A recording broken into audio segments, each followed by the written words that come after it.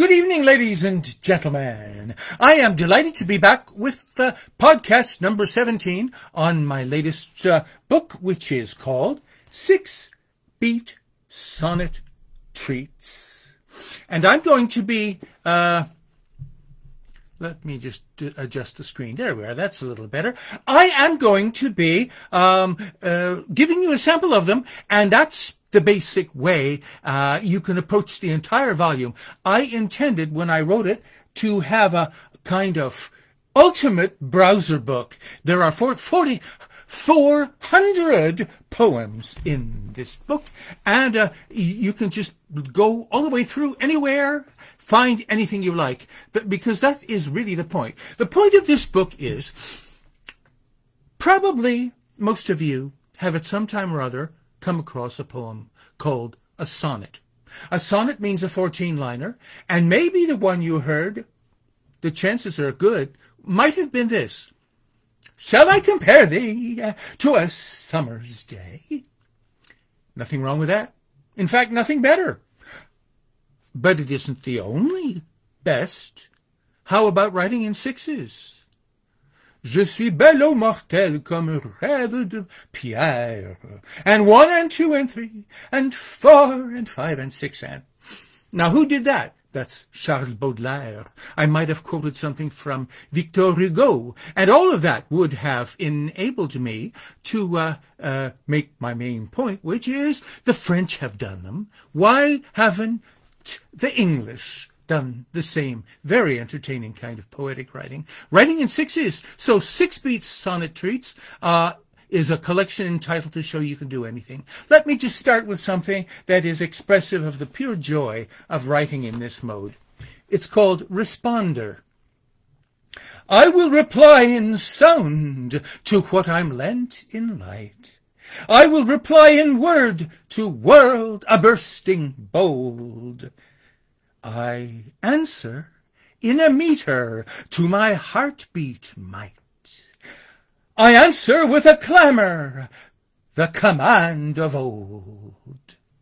And when the bolt of Thor is lifted, I respond. And when the stormy horde is roaring, I reply. And if at dawn the rain a riddle whisper fond, I answer in a soft susurro to the sky.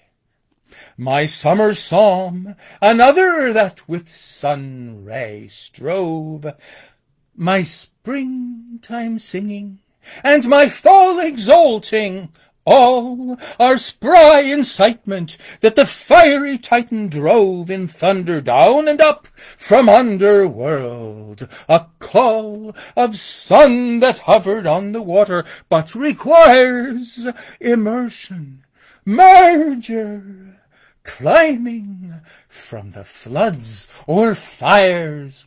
I'm thinking of uh, uh, Vulcan, who was sentenced to be underneath that volcano, and every now and then he um, has a temper fit, and we get a quite a lava shower. Uh, so the, the sun seems to rise from the water in the morning, and the fire seems to rise from the mountain whenever it likes.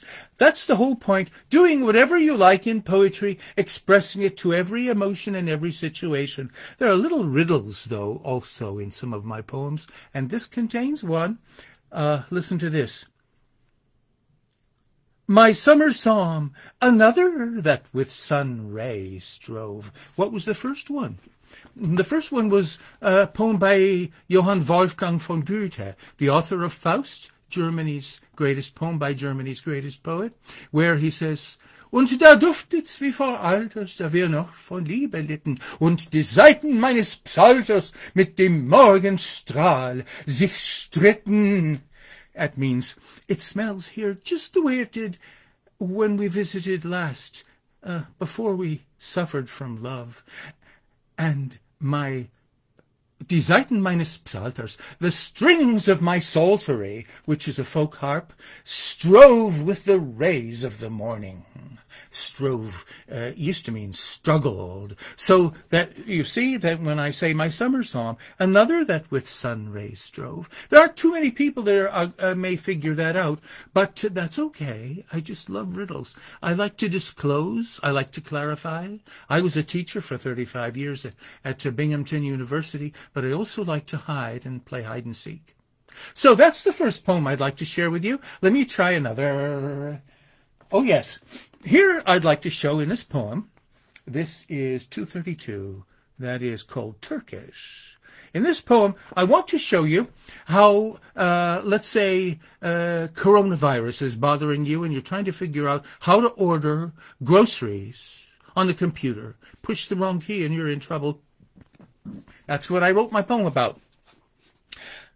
I needed instant. Coffee grounds I got instead.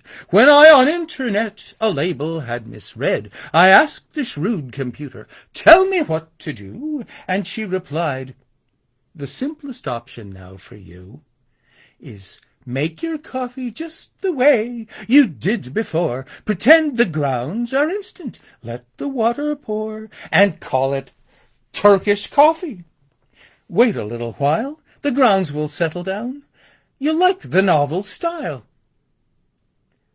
Can milk fit in? I type and learn that though the Turks will tell you no, the milk idea's fine. It works for me, a lady in Slovenia volunteers. I drank it milky and I liked it many years, though I was chided in a Turkish restaurant. Slovenians we, our independence let us vaunt. Wasn't that fun? You just take a little trouble you're having in your life and you turn it into a bit of entertainment. Um, I do that throughout the coronavirus period to give myself a little amusement. Here's another example of how that can be done. In poem 50, I talk about something that you've all experienced increasingly lately, and that is the likelihood that since you're not going outside, or not too likely to be going outside, uh, you may be wearing pajamas. Suddenly I thought, why don't I write about pajamas? And it turned out, after I Google, Googled the idea, that in fact I hadn't known anything about them, and I glad I was glad to give myself a little education. Here we go. Pajamas. Subcontinental Asia, fashion granted had, which widely spread, and I in Vestal town am glad. For Muslim, Sikh, or Hindu, waking or asleep, twould body comfortable, rested, peaceful keep. The varicolored striping, orderly, subdued, has lent the uniform a firm, symmetric mood, the top and bottom, as in formal suit, agree in this a confident propriety to see. The folded-over shirt front placket will provide protection from the plastic button shapes. To add the styling of the cuffs a bit of elegance may furnish that the total pattern can enhance. Why write on such a thing? Montaigne, and he's not mad, of gallstones even wrote, and wisdom lent beside. That's kind of fun to think about. Montaigne, uh, back in 1500s, was inventing the modern essay. He actually used the word essai in French, which means an attempt uh, you essay something means you're trying it out. And uh, he did write about everything under the sun. His object of study was himself, and that means a whole lot is not left out, hmm? including gallstones, which uh, were a terrible thing. Well, now we go on. What are we going on to? I'll read my last uh, explicitly COVID poem. This is a fun poem because in it I invented a new word. I looked at the word COVID and suddenly it occurred to me, I add a few letters and I get Neo-Latin, covideamus. That means, let us see. Let us see. We've learned a lot, actually, from this let us see idea through the COVID-19 era. And here we go. The COVID plague brings death, but when we scrutinize the word in fancy, hopeful gleam can meet the eyes. Upon the name of it, a Neo-Latin word I built to serve as motto.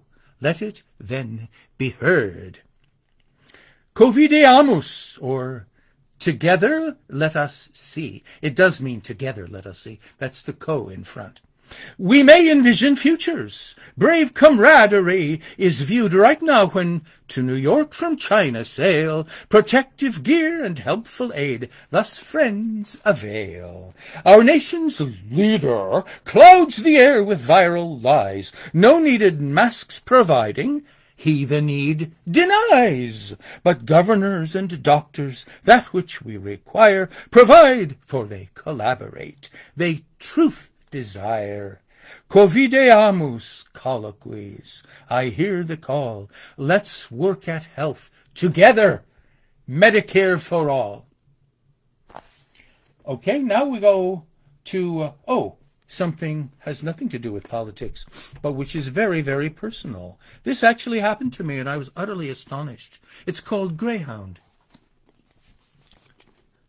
The play was over.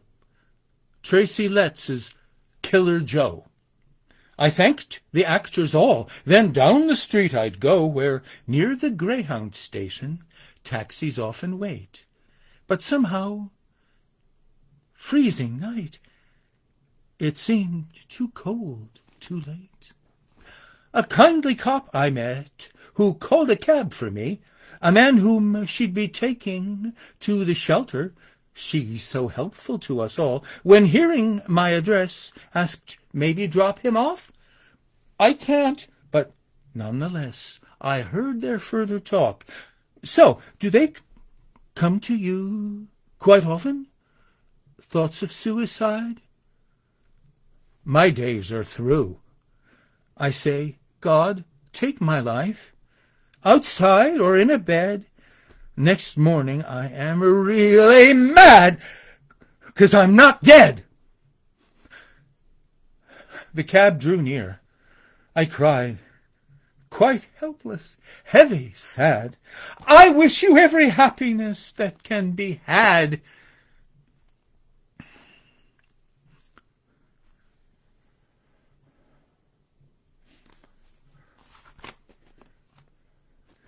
We need something a little calmer. I'm going to read a poem called Ladder. This is a fascinating thing, and it exemplifies one of the things in cultural history that I love the most, and that is when traditions get together. No, no wall building, but together making. And in this case, a rabbi from the West Coast, uh, who had had a, a lots, lots of contact with Buddhists and, and Zen practitioners, suddenly realized one day when he was reading the story of Jacob Jacob's dream concerning the angels walking up and down the ladder, ladder from earth to heaven and back again, he realized that could be re regarded as a portrait of a mind in meditation. What are you looking at? The angels up and down the ladder are the rise and fall of your feelings, your impulses, your thoughts, your conclusions, your questions. You watch them and you're distanced from them. The mind is not the same thing as the brain. I had to write that up in my own way. So this is called Ladder after reading Alan Lew's book called Be Still and Get Going.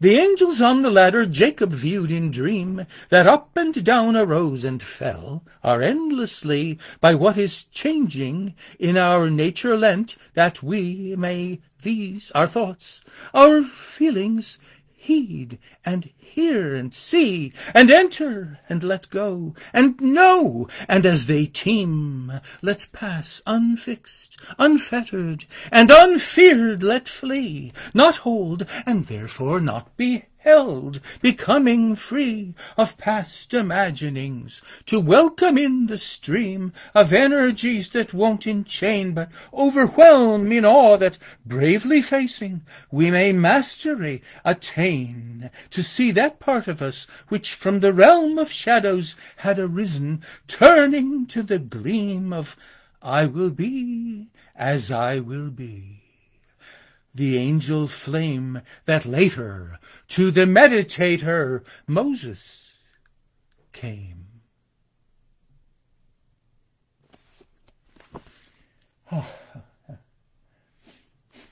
Now I turn to a different tradition. I like to turn to all sorts of traditions. And in this one, I am going to Islamic legacies. Uh, the epigraph, what set me off, is the following. I was a hidden treasure and wanted to be known. That doesn't come from the Quran, but from the Hadith writing. The Hadith writings are memoir narratives uh, by the Prophet Muhammad's uh, disciples, friends, relatives, colleagues. So, here's what I derived from that sentence, which quite struck me. I was a hidden treasure wanting to be known. The Sufi quester quotes the ultimate. I've grown more self-aware in each created work well made. The cleaver of the daybreak will his wealth unlade with light which both illumines and creates the view. We're all unmanifest, the Lord and mortals too, and though our being is unknown and unportrayed. Our lyric worlds are yet in light and tone arrayed. The impulse toward creating cannot have an end. Unknowns, even while unbounded, further can befriend each other. Metaphoric worlds, in part opaque, through sibling love unfathomed radiance will take. Your hidden treasure, then, expend and never hoard. You thus will emulate the blessing of the Lord. One of the most remarkable things I found in Islamic legacy is the teaching of Ibn Arabi, the Sufi expositor. He says that all religions are uh, containers, cups, glasses, which give color and form to the water of spirit, but the container is not the water. And here's the thing that's equally wonderful about what he says. He looks at the Bible verse uh, in the, the, that tells us that uh, God created uh, humans in his own image. And he thinks about that and he says, if there's one thing that we know about God, it's that we know nothing about such a a supernal and transcendent being. Even the 99 names in, of God given in the Quran are not names, they're just rubrics of qualities. So, uh, God is not knowable, He is the unknown. And if we're created in His likeness, we also are unknowable and unknown. So Socrates' oracle can say to him the, in the temple at uh, Delphi, can say, know thyself, but you can't do it. And that's the delightful thing about this teaching and about, I think, the truth that it points to in our nature. Namely, that as long as you live, you will be surprising yourself every day of your life. So what comes next? Next, oh, I'm always looking for different kinds of enlightenment, and here I found some from Walt Whitman, and it was part of my experience, uh, the kind of experience I love to tell about, of singing in a choir. I was singing in the uh, Binghamton University and Community Choir under the direction of the brilliant conductor William Culverhouse, and we were singing Dona Nobis Pacem, which, despite the Latin title meaning Give Us Peace, is written entirely in English, and it's by Vaughan Williams. William Vaughan, uh, Ralph Vaughan, or Rafe, they say in England. Uh, Vaughan Williams is one of my all-time favorite composers, and uh, in Dona Nobis Pacem, he uses as lyrics for part of the piece uh, a hymn written by Walt Whitman, or, or a recollection. It's a contemplative recollections, why I didn't know whether, whether or not to call it a hymn. And what he does is he explains how, at a memorial, he went up to the body of a dead Confederate soldier and kissed it, kissed the face of the Confederate, who was labeled his enemy, but there are no enemies. So here's my poem. It's called Peace. In reconciliation, that's the poem. Whitman's made to see the sisters death and night, who wash incessantly the world they cleanse from soilure. Motherly such care must, when I dreaming think of it, appear to me. The war and carnage we in sorrow scarcely bear will by that work at length be lost. A vision fair, most probably drawn near, because a brother love has lent the poet strength. The fighter lying there he'll lightly touch with lips upon the face, and of the godliness they share when viewed from height above will be reminded. Called an enemy, one died one lived. The love he showed forever may abide. To love my neighbor, heaven's gift of peace will bring. We're all of stardust made, and siblinghood may sing.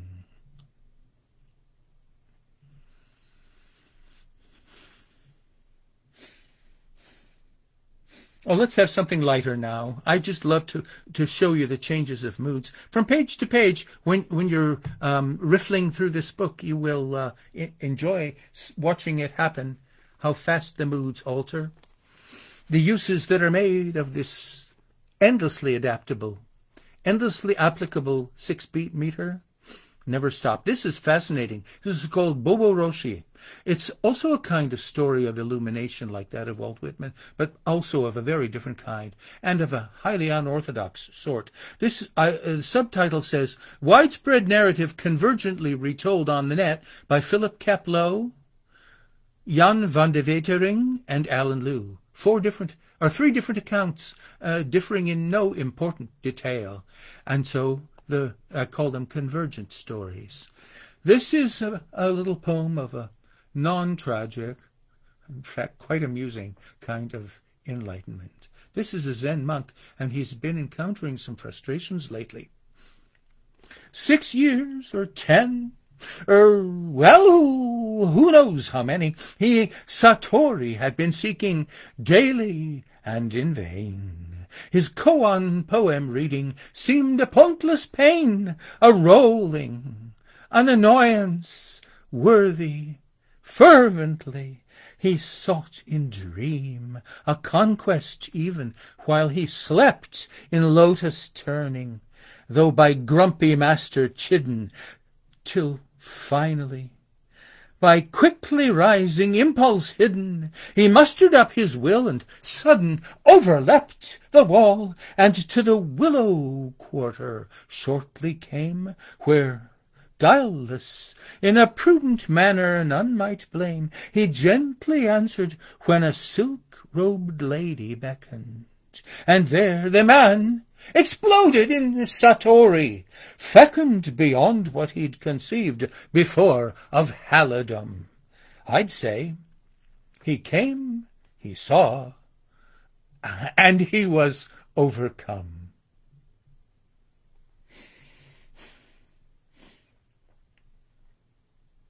Well, for let's see, yes, I have time for a couple more. Uh, I would like to show you something utterly different. It's on the very next page. Uh, I have a friend named Annie Johnson who's an artist, a ceramist, a painter, and a sculptor in Owego, not far from where I live in Vestal, New York, upstate towns. And uh, she's not only a, a multi-arts person. Well, yes, this is art, an art also, the art of preparing delicious food. And uh, she sometimes writes me uh, about food preparation in an email, and then I make a poem out of it. This is called pesto a lyrical recipe. January 14th, that's Bastille Day, 2012. You'll smell of lemon if you rub against the plant of lemon basil. With blue African, the blue so rich gets under fingernails. Will stay there too. The Genovese, the thickest, is the one you can't resist. The blender's good, but better yet chop the leaves. Sharp knife you need to cut and not to mash. A damaged leaf turns dark. The color shade on top is unattractive. Then you take the fragment cash and mold it to a little cake and add the nuts you've chopped and make it softer with a little oil. The texture varies from the chopping. That won't spoil a thing. It's tastier. Beware the knife. It cuts your nail if you're not careful. Then here's what you do. Just cover up the injured part with superglue. For my last poem, I'll turn to something a little more serious, perhaps because I, I had it in mind when planning to, to make it more memorable as being more consequent. This is poem 282 and it's called Dantescan. And that simply means in the manner of Dante. What's in the manner of Dante? Uh, I use his rhyme scheme. Uh, the, let's see. Well, A B A B C B C D C. Uh, the first, every third rhyme writes uh, rhymes with the, the first example of it, and this is supposed to uh, uh, emblemize in the clearest way and in the most re- uh, often re- repeated, so unforgettable way, uh, the, the important, central importance to him of the Trinity doctrine. But simply taken as a rhyme scheme, it's very beautiful, uh, very melodious, and uh, he used it for his Divine Comedy, the entire thing.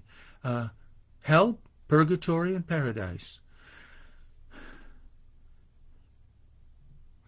All three worlds are very different, and yet they're all here, aren't they?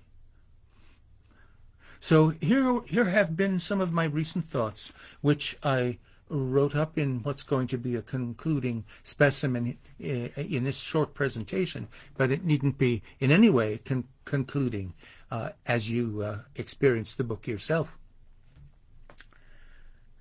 If those whom great Apollo gifted with a lyre, or as I rather would imagine, violin, to raise the Orphic underworldly wonder higher with son filé, a golden thread, would boldened spin a fate-like spell by which the people closed their eyes, might listen, might listening like Saul to David's world within, as from an ode of Odin feel unruined rise a wind of peace, to win a spirit life, to plead an end to fears that mirror what they would despise.